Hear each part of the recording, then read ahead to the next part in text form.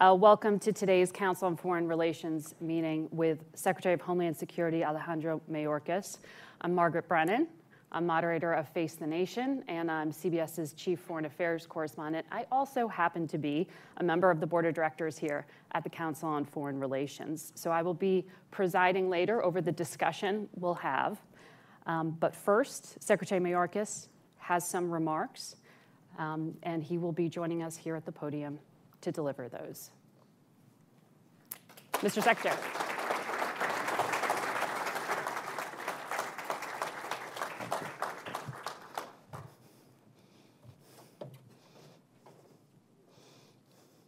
Well, good morning, everybody.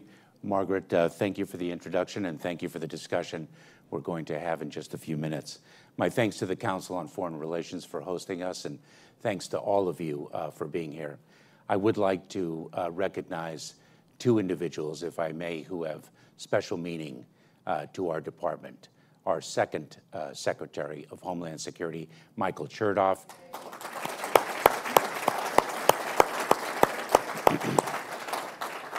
and, and former United States Congresswoman Jane Harman.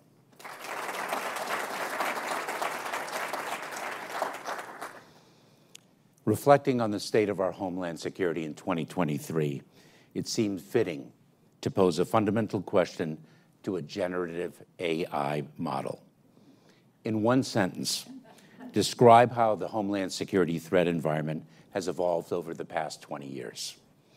We are, uh, after all, confronting a dramatically changed environment compared to the one we faced in March of 2003, one that could change even more dramatically as AI grips our imaginations and accelerates into our lives in uncharted and basically unmanaged fashion. Deeply fascinated by AI's promise of new advances and discoveries, greatly concerned for its capacity for error and its impact on our humanity and keenly alert to its potential for harm in the hands of an adversary, I waited only seconds for the AI model's answer.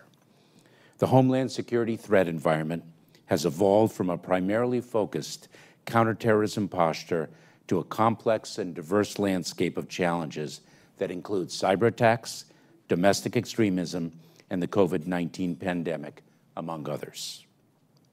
A straightforward answer to an important question that addresses the evolved threat landscape that our Department of Homeland Security must now confront. Its evolution is about to accelerate. Only about six months ago, engaging with an AI chatbot was reserved for a few in Silicon Valley and universities. Today, about 100 million users per month are asking an AI chatbot just about anything, from recipe recommendations to requests for scientific analyses. The exponential growth of internet technology and the change it has driven has been extraordinary. As we reflect on the state of our homeland security today, that explosive growth compels us to ask the question what will this growth mean for our safety and security over the next 20 years? We stand at the outset of what President Biden has aptly described as a decisive decade for our world. It is the same for our homeland security. Revolutionizing technological innovations, growing political and economic instability, widening wealth inequality, a rapidly changing climate, increasingly aggressive nation states, emerging infectious diseases, and other forces are transforming the global landscape, challenging and sometimes rendering moot a nation's borders and bringing national and international threats to any community's doorstep. Our department was founded to protect us in the wake of the tragedy and devastation inflicted by the terrorist attacks of 9 11, bringing together 22 agencies from across the federal government charged with the mission of securing our homeland. Back then, our country was focused on the threat of foreign terrorists who sought to enter the United States and do us harm. Over the next 10 years emerged the threat of the homegrown violent extremist, the individual already resident here who was radicalized to violence by a foreign terrorist ideology.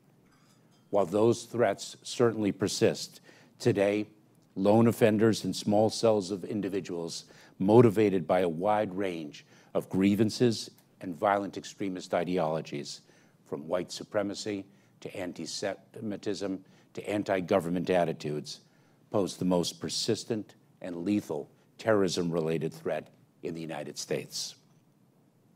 The effects of climate change have intensified. Wildfire season is no longer confined to the summer months, but is now year-round. Tornadoes and named hurricanes in the United States are more frequent and more destructive. Just a few weeks ago in Mississippi, I surveyed the devastation wrought by a tornado that, in 20 seconds and at speeds up to 200 miles per hour, ripped through a small town, destroying multiple communities and taking the lives of more than 20 people. Not for a century have we confronted the calamity of an infectious disease as we have over the past three years. COVID-19 took more than 1 million lives here in the United States, impacted every aspect of our daily life, and forced on us a new understanding of the threat pandemic diseases can pose as they spread through paths of international trade and travel. Globally, the impacts of disasters, coupled with the rise of authoritarianism, corruption, conflict, violence, and persecution, have resulted in an historic displacement and migration of people around the world and a consequent strain on immigration systems ill-equipped to address it. According to the United Nations High Commissioner for Refugees, at the end of 2021, 89.3 million people worldwide had fled their homes due to conflict, violence, fear of persecution, and human rights violations. This is the most since World War II and more than double the number of people who remained forcibly displaced a decade ago. Criminal organizations have capitalized on this surge. The reach and growing ruthlessness of smuggling organizations have changed how people migrate. Drug trafficking organizations have grown in sophistication and power, creating new means of manufacturing and selling death and destruction. From late 1989 through 2001, I prosecuted federal drug trafficking crimes, from the trafficking of cocaine to methamphetamine to black tar heroin and more. Nothing I saw then matches the scourge of fentanyl that we have confronted over the past five years. 46,802 overdose deaths in 2018, 57,834 in 2020, and 71,238 in 2021. Over that same time, those seeking to exploit the most vulnerable have taken their depravity to an unimaginable level. The National Center for Missing and Exploited Children, the nation's clearinghouse for child sexu sexual abuse material, received over 32 million cyber tips in 2022, corresponding to more than 88 million images and videos of child sexual abuse, a roughly 75% increase in the last five years. 88 million images and videos of child sexual abuse. As threats of the past have changed in form, complexity, and magnitude, so too have new threats emerged. This is perhaps nowhere more acute than in cyberspace. Some estimates that roughly 14.4 billion devices are connected as part of, part of the Internet of Things, everything from our home thermostats and doorbells to our electric grid and fuel pipelines. This has brought significant advances in capabilities and conveniences, but it also has dramatically increased the ways our interconnected digital world can be exploited to do us harm. Today, malicious cyber actors are capable of disrupting gasoline supplies and across an entire region of our country, preventing hospitals from delivering critical care and causing disruption in some of the school systems around our country. Nation states, like the People's Republic of China and Russia, upend our rules-based international order and threaten our security at home, whether through cyber attacks, abuse of our trade and travel systems, or through disinformation campaigns that seek to undermine our democratic institutions. Our homeland security has converged with our broader national security. The profound evolution in the homeland security threat environment, changing at a pace faster than ever before, has required our Department of Homeland Security to evolve along with it. We have built new institutions, modernized our approach and processes, developed new capabilities, and are harnessing innovation as we deliver critical services that are more in demand than ever before. Our overarching strategy is one of partnership. Homeland security cannot be accomplished by government alone. It requires collective action. To meet the threat of domestic violent extremism, we created the Center for Prevention Programs and Partnerships to share with local communities the best practice models of identification and intervention when an individual is exhibiting signs of moving towards violence. Through our grant programs, we are helping communities build threat prevention capabilities where previously they did not exist, responding to the reality that major metropolitan areas are no longer our adversaries' only targets. Across the federal government, we are working with communities impacted by unprecedented extreme weather events to strengthen their long-term recovery. We have developed, for the first time, department-wide incident management teams to lead all of government responses to emergent challenges, from vaccinating millions of Americans against COVID-19 and resettling Afghan nationals in Operation Allies Welcome, to providing protection for fleeing Ukrainians in Uniting for Ukraine. We are coordinating and sharing intelligence with our partner nations and executing whole-of-government disruption and dismantlement campaigns to attack cartels. In collaboration with diaspora communities here in the United States, we are building lawful pathways so that migrants fleeing persecution can access safe and orderly avenues to obtain the humanitarian relief that our laws provide. We are working collaboratively with our partners across government, at home and abroad, and with industry and academia to manage and reduce risk to the cyber and physical infrastructure Americans rely on every single day. We are partnering across the U.S. government to protect the most vulnerable from exploitation, whether they are migrants being trafficked uh, by unscrupulous smugglers or children who are being abused online. Exploitation of the vulnerable. Yesterday, we released the third quadrennial Homeland Security Review, our new vision for securing the homeland. In it, we address the five major missions set forth in our two prior reviews countering terrorism, securing our borders, administering our immigration system, securing cyberspace and critical infrastructure, and building resilience and responding to disasters. For the first time, however, we added a sixth Homeland Security mission set the work of combating crimes of exploitation, including human trafficking, child exploitation, and labor exploitation. This pivotal addition reflects the overriding importance of supporting victims and stopping the perpetrators of these abhorrent and increasingly prevalent crimes.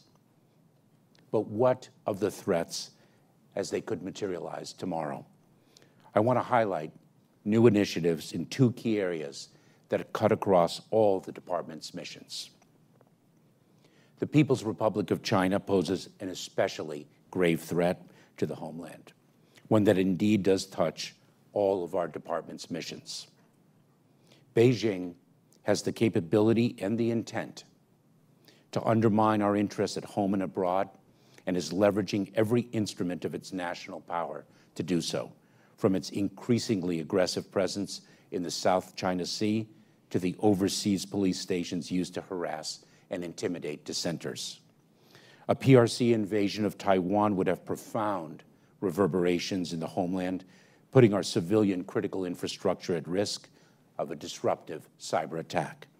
We must ensure we are poised to guard against this threat today and into the future. I have directed a 90 day department wide sprint to assess how the threats posed by the PRC will evolve and how we can be best positioned to guard against future manifestations of this threat. One critical area we will assess, for example, involves the defense of our critical infrastructure against PRC or PRC-sponsored attacks designed to disrupt or degrade provision of national critical functions, sow discord and panic, and prevent mobilization of U.S. military capabilities. Another area of assessment will involve how we can bolster our screening and vetting to identify illicit travelers from the PRC who exploit our lawful immigration and travel systems to collect intelligence, steal intellectual property, and harass dissidents, while still we must facilitate lawful travel. Informed by engagements with subject matter experts and our stakeholders, we will take immediate action to drive down risk, lay the foundation for ongoing public-private collaboration, and work with Congress to ensure we continue to invest in these vital capabilities. Next, and returning to where I began, we must address the many ways in which artificial intelligence will drastically alter the threat landscape and augment the arsenal of tools we possess to succeed in the face of these threats.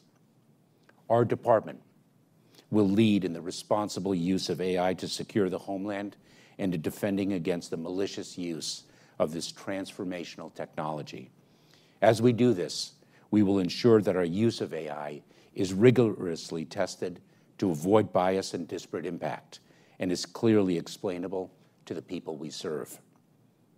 I recently asked our Homeland Security Advisory Council, Co-Chair Jamie Gorelick is here, to study the intersection of AI and Homeland Security and deliver findings that will help guide our use of it and defense against it. The rapid pace of technological change, the pivotal moment we are now in, requires that we also act today. To that end, I am directing the creation of our department's first artificial intelligence task force that will drive specific applications of AI to advance our critical Homeland Security missions. The task force will, for example, integrate AI into our efforts to enhance the integrity of our supply chains and the broader trade environment. We will seek to deploy AI to more ably screen cargo, identify the importation of goods produced with forced labor, and manage risk. The task force will also, among other charges, leverage AI to counter the flow of fentanyl into the United States. We will explore using this technology to better detect fentanyl shipments, identify and interdict the flow of precursor chemicals around the world, and target for disruption key nodes in the criminal networks. Countering the multifaceted threat posed by the PRC, learning from major cyber incidents, and harnessing the power of AI to advance our security will draw on the entirety of the capabilities and expertise the 260,000 personnel of DHS bring to bear every single day. It will require continued investment in our operational cohesion, our ability to work together in ways our founders never imagined. We must never allow, we must never allow ourselves to be susceptible to failures of imagination, which, as the 9/11 Commission concluded nearly 20 years ago, held us back from connecting the dots and preparing for the destruction that was being planned on that tragic day. We must instead look to the future and imagine the otherwise unimaginable to ensure that whatever threats we face, our department, our country, will be positioned to meet the moment. It is an especially challenging imperative to fill at a time not only of rapid change, but also of acute political divisiveness, when issues of homeland security that traditionally were unifying no longer are so, and when our adversaries continue to exploit innovations designed to bring us closer together, like social media, to in fact push us apart. We must imagine a world where even more potent and lethal synthetic opioids or infectious diseases plague our communities, where an earthquake or catastrophic storm intensifies already historic levels of migration in our hemisphere, where criminals 3D print weapons or modify consumer technologies like drones to evade law enforcement, where cyber criminals are emboldened to the point of holding for ransom the critical services of an entire city. At the Department of Homeland Security, we have the tools and talent to meet the moment today. We are taking the actions and making the investments to ensure we will continue to adapt and meet the moment into the future. We are more fit for purpose than at any time in our 20-year history. This is a collective effort. We must all come together in this country in the service of our homeland security. We must call upon our collective imagination, our commitment to a better future, and our fundamental love of country that binds us together to protect our homeland. Thank you.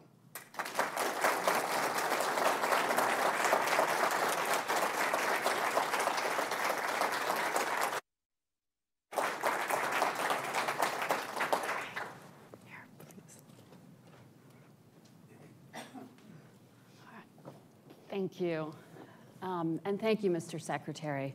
First of all, you've had an eventful week, so thank you for uh, spending this morning I am us. actually looking forward to the opportunity to answer a question.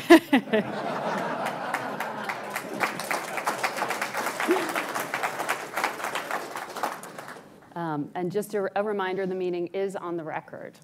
Um, so, Mr. Secretary, I want to ask you a number. Thank you all for. Uh...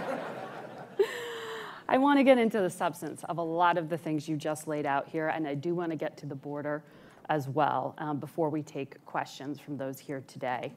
But first of all, you talked about trying to bring together the country, and that's kind of where I want to start. It seems like the past few weeks have been uh, fairly horrific. A mass shooting in Alabama, 32 people. You have a 12 year old uh, who was just gunned down in Hartford, Connecticut.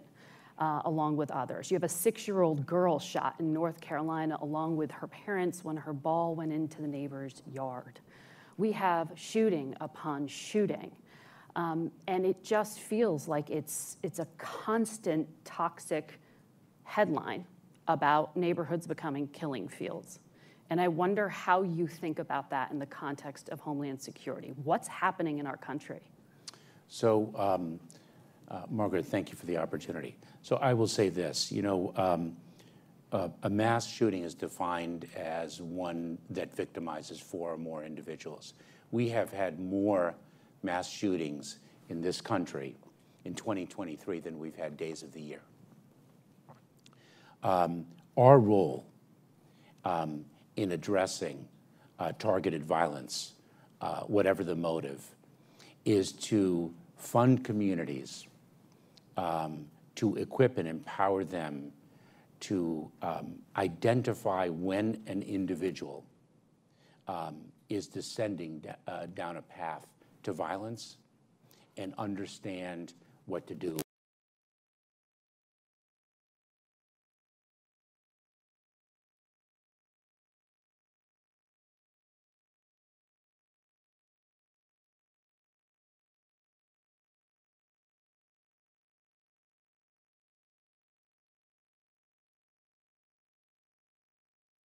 Say something.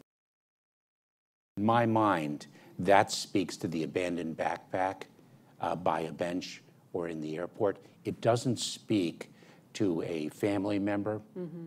uh, a neighbor, uh, a, a, friend, a teacher, a faith leader who observes somebody who is exhibiting signs of really having trouble and expressing interest in a violent act. And we as a community have to get involved and have to engage and understand how to communicate an analogous call to action when it involves something like that.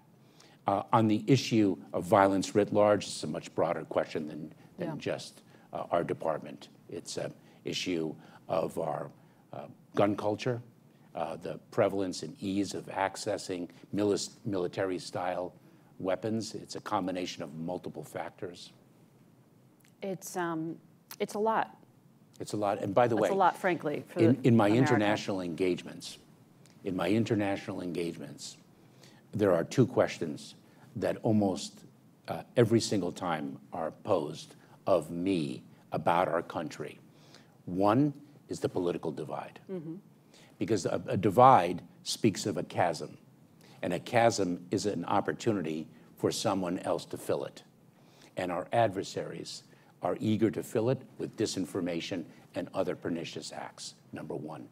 And number two, they ask about um, guns Yeah. and the, the number of killings in our country, and it is um, incomprehensible to them. It, it is.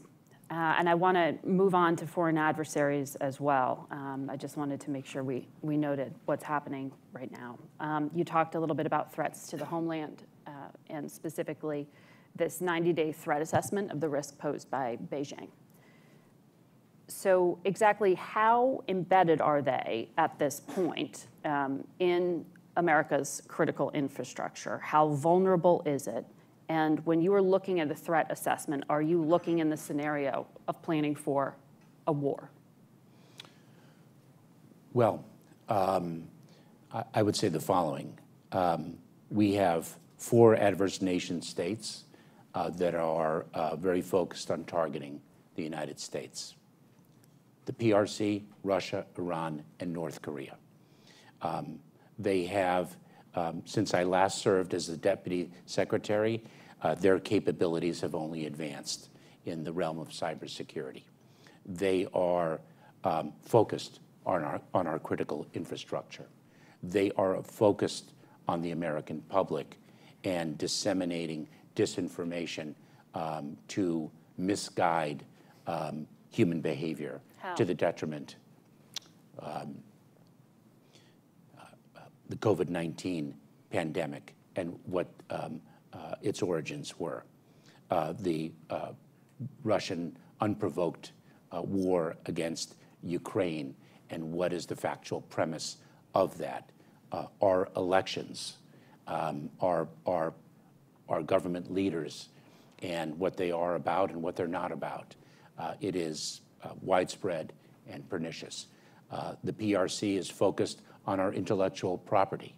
Uh, they produce um, goods uh, that are manufactured um, uh, by exploited uh, labor. And it is our responsibility to ensure under the law that no good produced by forced labor in whole or in part enters the United States. We are, we are involved in every aspect of the threat that I have just identified. But are you planning for the event of war here? Because some of what you laid out, um, including an attack on America's critical infrastructure, could be understood as exactly that. So That's an incredibly aggressive action. that, that is an incredibly uh, aggressive action. Um, and uh, I'm not sure I frame it in the context of war. Uh, I haven't applied that uh, necessarily, necessarily a terminology, but I don't think our actions uh, vary however one frames the issue. Uh, we are focused intensely on defending our critical infrastructure through our cybersecurity and infrastructure security agency. So uh, I, I think of it in terms of an attack, whether the attack is in the context of war or day-to-day aggression. Um, uh, um, I, I think our defenses and our, and our actions uh, remain the same. The FBI director said that uh, they open a new investigation into Chinese counterintelligence every 10 hours, and half of their counter investigations are related to China. How significant right now is the PRC's exploitation of things like the immigration system?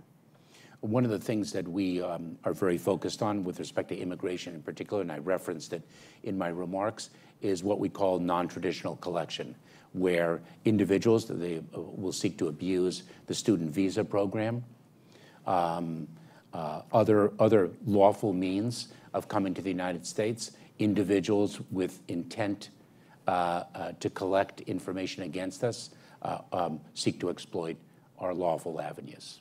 But is there, is there a metric like that? I mean, how do you put a number on how significant the threat is? If, if there's a counterintelligence investigation opened every 10 hours. How significant would you I, put? I, I have to tell you, um, we consider it extraordinarily significant when we identify and prevent one individual from uh, seeking our sensitive information, including from our academic institutions that are doing, you know, extraordinarily important work in a public-private partnership. Um, the frequency of the threat to which you refer, Margaret, um, I think is a reflection of the magnitude of the threat, the, um, the keenness and focus of the PRC's interest um, in adversity, um, and our incredible need for a tireless vigilance. The Treasury Secretary said yesterday uh, that the administration is considering restricting U.S. investment in sensitive technologies with significant national security implications. I know you're concerned about TikTok, but specifically on this issue of technology, what concerns you? Where do you fit into that conversation within the administration? Well, we are a, a critical partner of the Committee on Foreign Investment in the U.S., the CFIUS Committee. We are deeply concerned about uh, PRC-owned and operated infrastructure, elements of infrastructure, and uh, what that control can mean given that the operator and owner has adverse interests.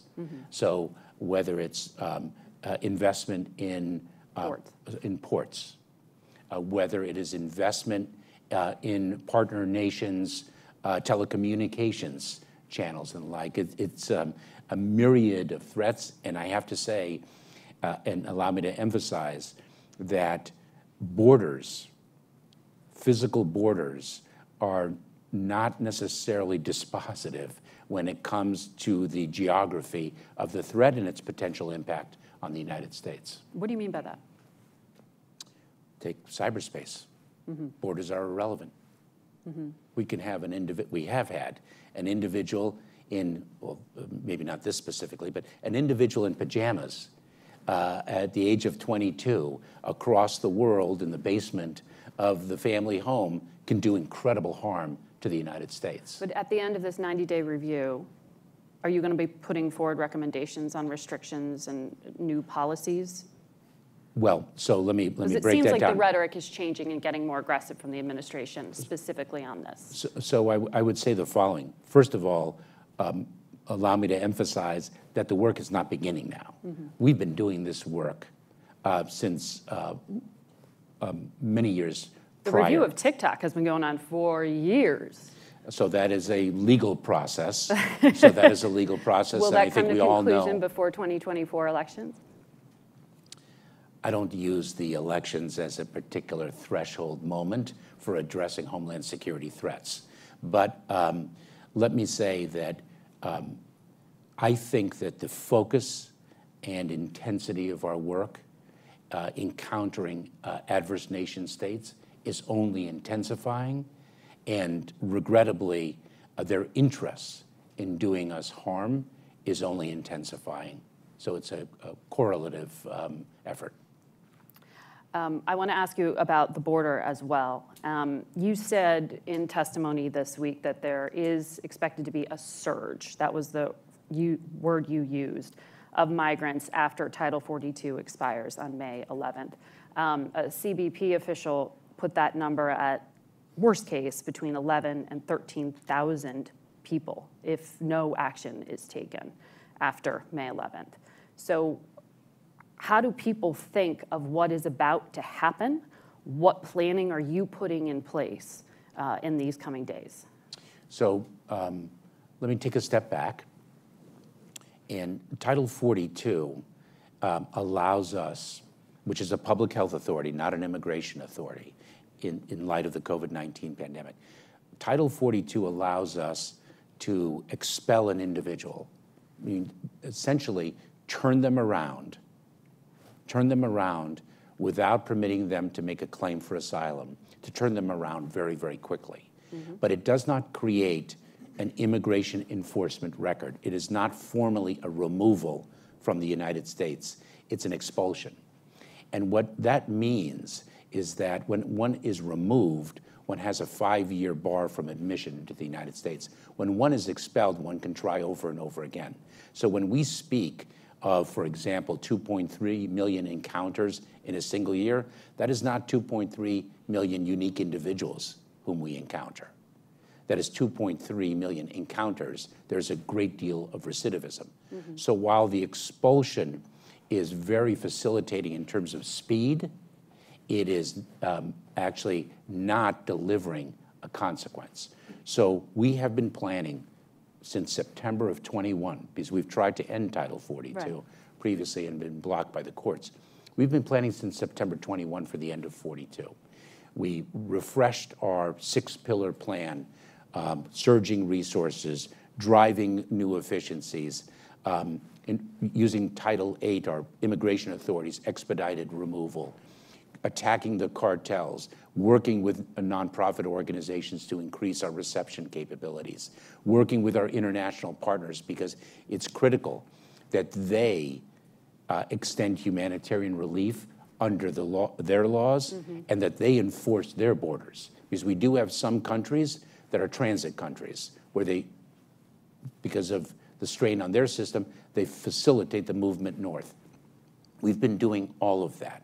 I think we're going to be uh, unveiling um, some new efforts uh, over the coming days. Our, our fundamental model is as follows. Because one, one has to understand that one cannot deter one's way through a migration challenge because it's relative.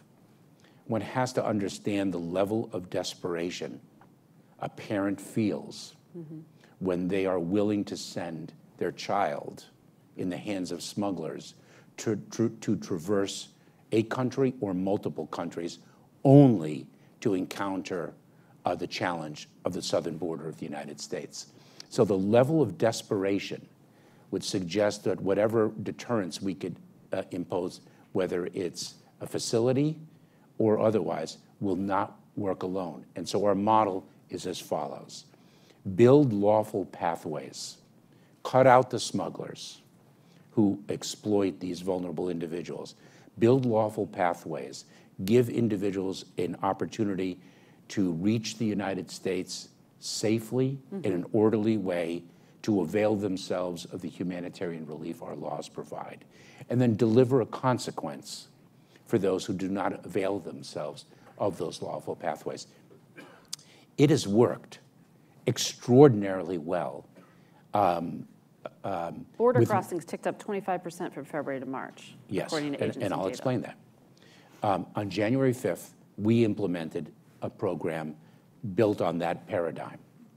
For Cubans, Haitians, Nicaraguans, and Venezuelans, we developed a parole program. Up to 30,000 could come to the United States per month, Mm-hmm.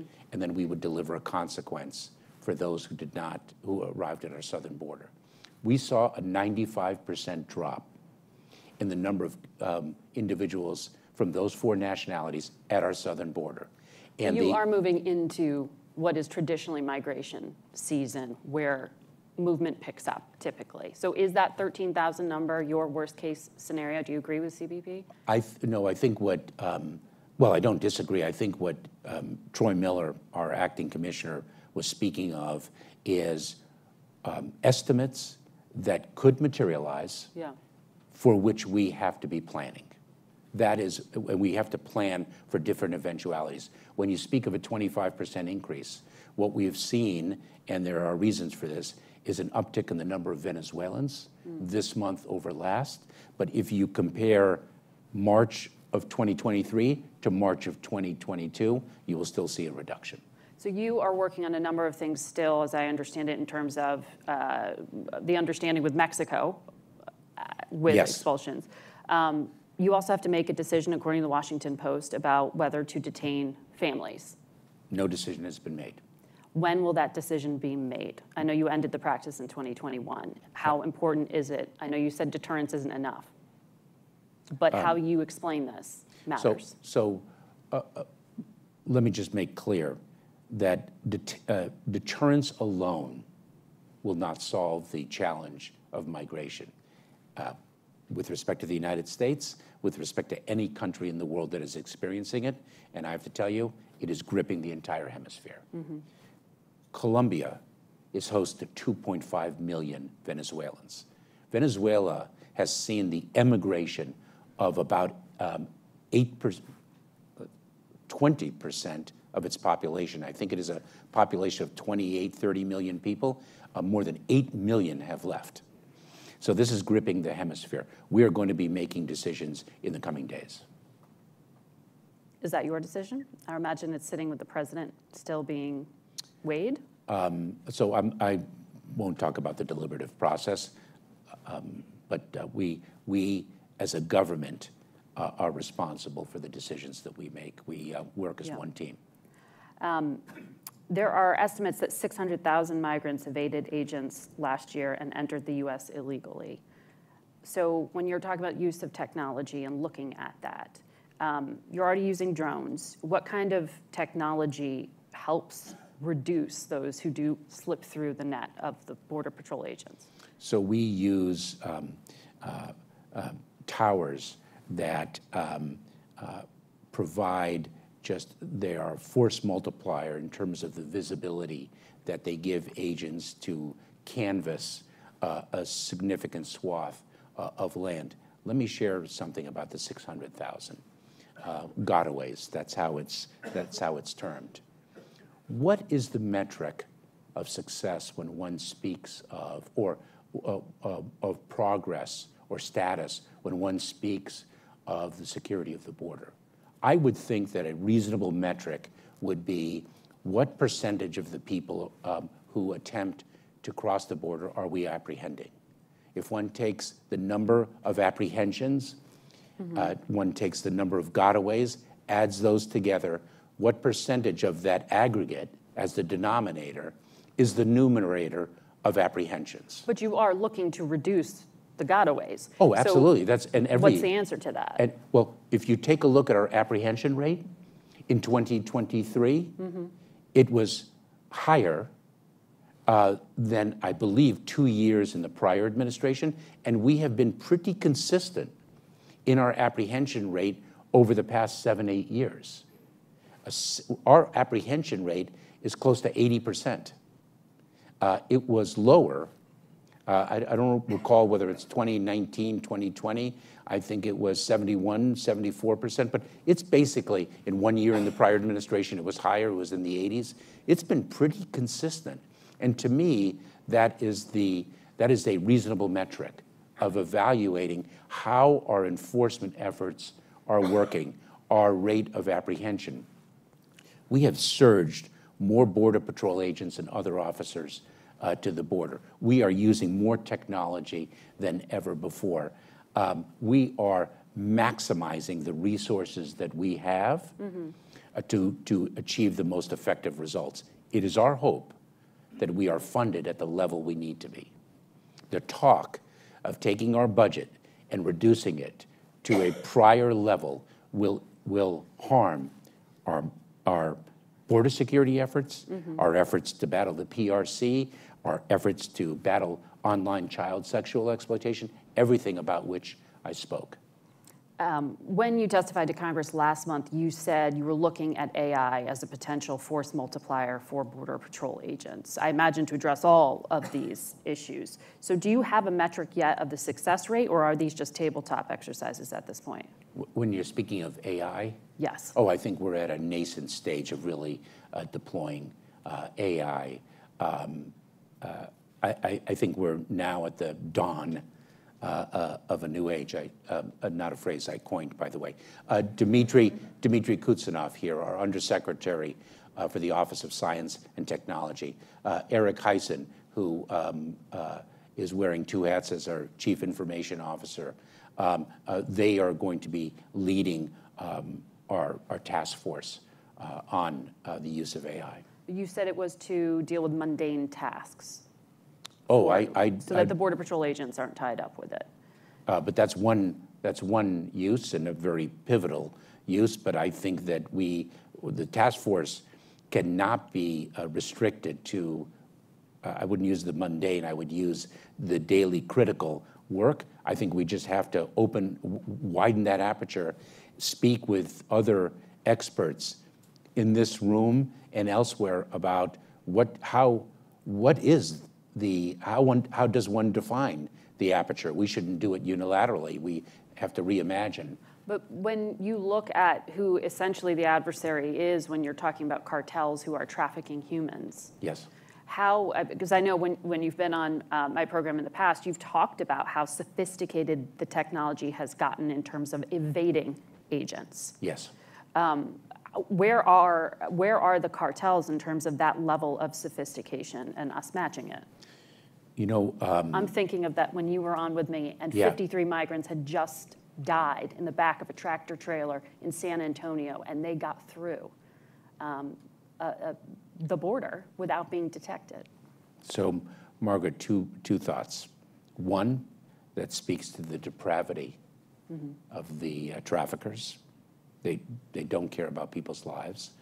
And two, it speaks to the criticality of the $305 million in funding that we are seeking in fiscal year 2024 to uh, purchase more non-intrusive inspection technology so that we can actually get to the point of screening 100% of the trailers, the, the, the trucks, the passenger vehicles that come through our border. We are not at 100%. We have increased our volume materially uh, over the past several years, but we are not at 100%. That's why continued investment is so critical. Um, I want to make sure that we get to some of the questions from our members um, who are invited right now to ask them. This is on the record. We started a little late, so if you're watching the clock, I'm making up the time. Um, So uh, here, do you want to start here? I think there are microphones to be run around this gentleman here in the third row. Yes. To what extent is the citizenship clause of the 14th Amendment a lure for people to cross the border illegally? And if so, is there anything that can be done about it, like a, a, a reinterpretation so that at least one parent must be a citizen or lawful resident alien? So um, the citizenship clause, meaning uh, what? Do you mean the, the fact of uh, the birthright uh, citizenship? Um, I don't, you know, this is um, my immediate reaction to the question is I don't think that a parent who cannot uh, send uh, his or her daughter to school safely in the morning or is concerned about their son um, ability to live to live if they choose not to join a gang is thinking of actually coming to the United States for the purpose of having another child so that child could become a U.S. citizen. Uh, In the front row, Jane Harman here. Desperation, desperation is the greatest catalyst for the migration that we are seeing. On 9/11, I was serving in Congress. I co-chaired, co-chaired in this was a Republican majority Congress, a subcommittee on terrorism of uh, the Intelligence Committee with Saxby Chambliss, who went on to become a senator. The rhetoric around 9/11 was America is under attack. On the night of 9 11, 150 plus members of Congress assembled on the steps of the Capitol, which had just been reopened, and sang, God Bless America. No one was talking about, gee, it's the Democrats' fault, it's the Republicans' fault. And when we enacted legislation following 9 11, including standing up your department, uh, the, uh, creating the Director of National Intelligence, and a variety of other things, the votes were bipartisan. 22 years later, forget about it. And the demonizing of you personally is to me shocking and totally unproductive. But my question is thought experiment. Imagine if Chuck Schumer and um, uh, Kevin McCarthy came to visit you, imagine, thought experiment, and asked you what are a few things that Congress could do productively, in addition to adding some funding that you mentioned, productively to make our homeland effort more effective, what would those few things be? Um, so the first thing that comes to mind, uh, Jane, is the fact that they already had done something, which is they had come together uh, to speak with the Secretary of Homeland Security about what could be done for the, for the well-being of our homeland. So that would be uh, mission one accomplished. Um, immigration reform. Uh, the, the, the system is so broken. Everyone agrees about it, and yet we can't uh, seem uh, to come together to fix it.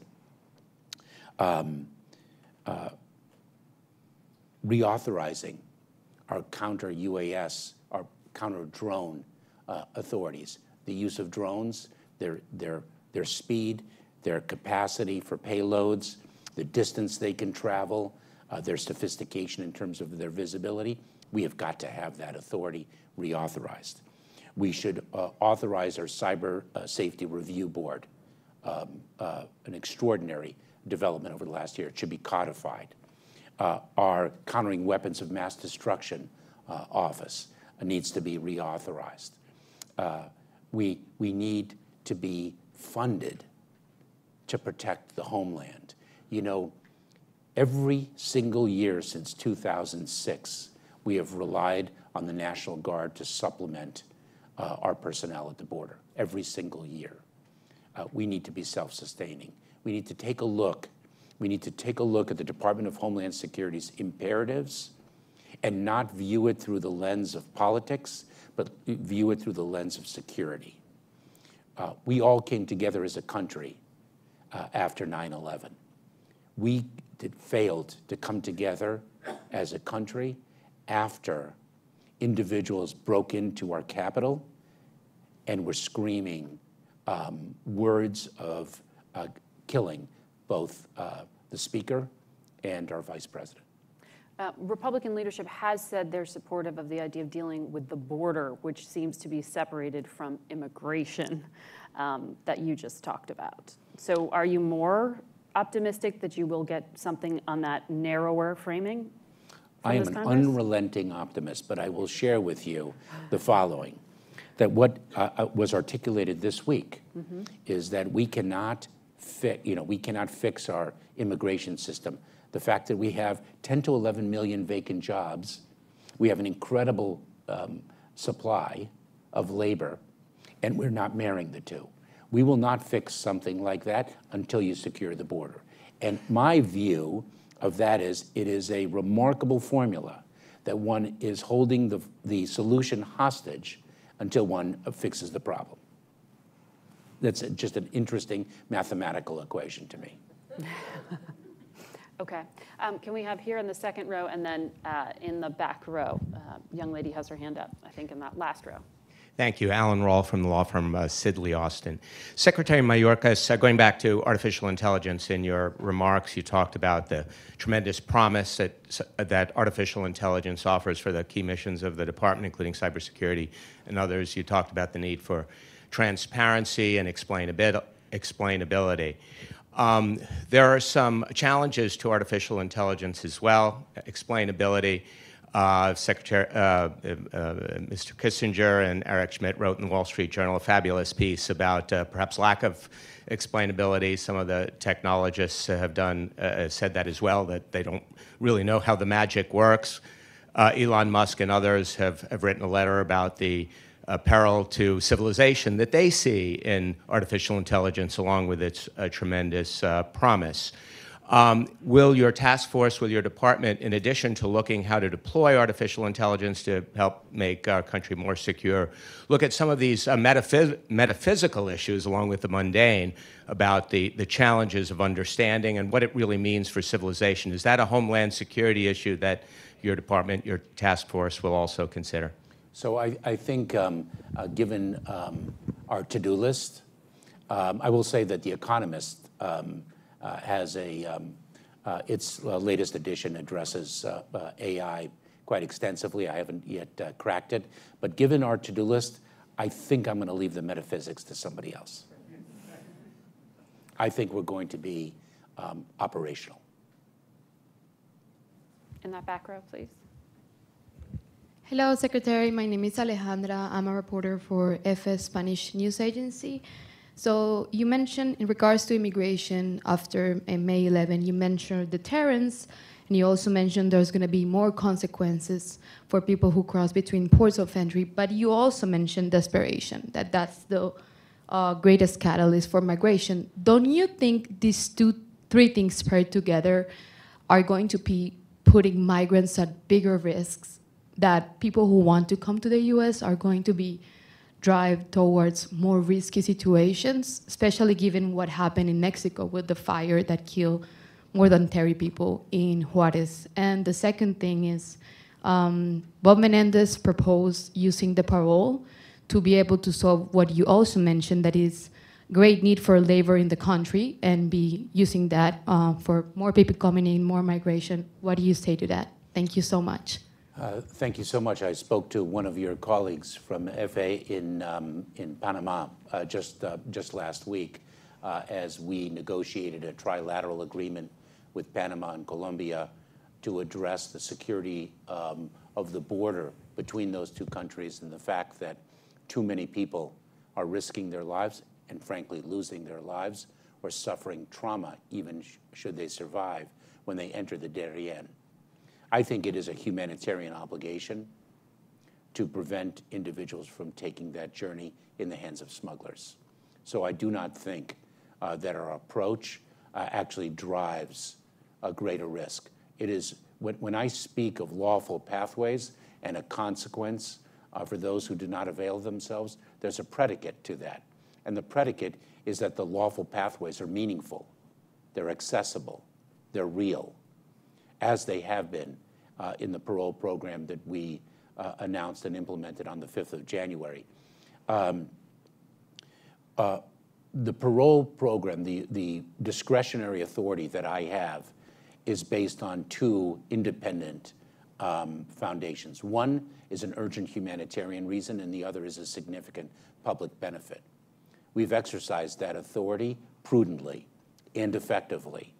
Um, the parole program for Cubans, Haitians, Nicaraguans, and Venezuelans is working. The clamor that we hear to reduce the number of encounters at our southern border, we met, um, we met that objective uh, through the, with respect to those four populations through our programs. And nevertheless, our parole authority with respect to those successful programs is being challenged in a court in Texas. So our parole authority uh, and its, its ability to serve the public benefit, to address urgent humanitarian needs, is actually being challenged. Um, can we have this gentleman here with the uh, violet shirt and then the young lady in the back on this side of the room? Thank you, Mr. Secretary. It's Jim Freis. I, I wanted to ask you about something you've not talked about, and that's financial intelligence, and particularly looking back when you were at CIS, when I was at Treasury FinCEN, we had built upon capacity building with Mexico, but it was always an issue in terms of corruption, whether we could trust them. But we finally were able to have a breakthrough in looking at the way money moves. You talked about immigration, but of course we know that uh, whether it's nar narcotics, whether it's guns moving across the border, whether it's trade-based uh, money laundering, money's always another side of those flows. And I fear that some of the aspects, we, we, were able to actually have the Mexican government change ways the use of the dollar to distinguish between illicit flows and legal flows that we wanted to let flourish. I fear that that went away in the last administration, but can you talk a little bit about that aspect of partnership and how integral you view that uh, for DHS today? Um, so, you know, uh, the, the, the maxim follow the money uh, uh, is critical. You know, when I first started as a prosecutor in 1989, my first series of cases were actually on asset forfeiture. Um, um, the, um, the instruments, the property, the finances that were used to fund or facilitate the underlying illegal activity or the companion legal activity uh, or the proceeds of that illegal activity. I have to tell you, I addressed uh, some uh, defendants who um, didn't seem to blink an eye with doing a few years in custody, but when one took all their money away, it was a huge, huge deal.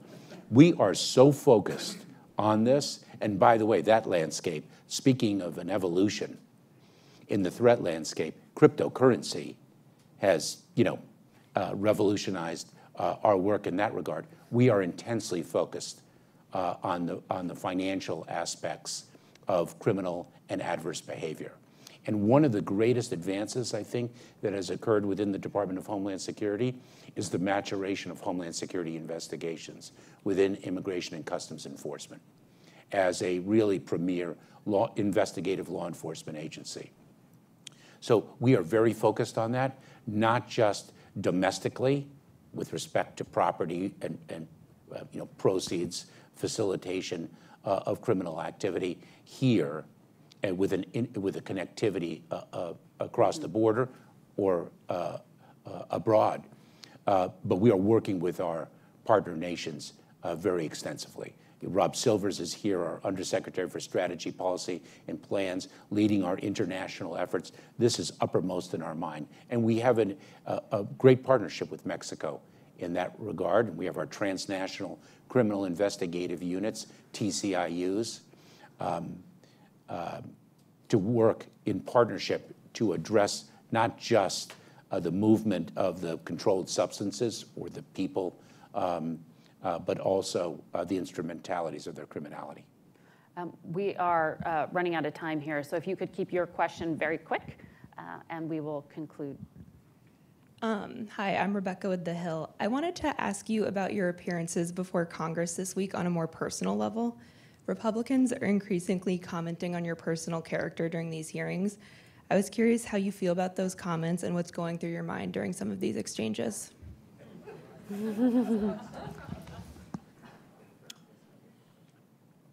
Um, hmm. Well, I would say. This is on the record. Yeah.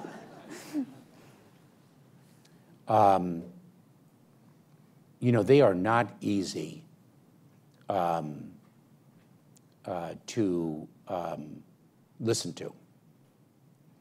Um, they also have ramifications uh, that I wish individuals in positions of leadership would consider. Um, because um, uh, our work is about people. And it's about the people doing the work, the people affected by the work, about our institutions, uh, our norms, uh, our definition uh, as a country of values and principles. Uh, I am fundamentally, fundamentally though, I am impervious to them because I may make some uh, mistakes, but I, you know, my decisions uh, may from uh, may be mistaken. Some may disagree with them, but I have hundred percent confidence in the integrity of my decision making.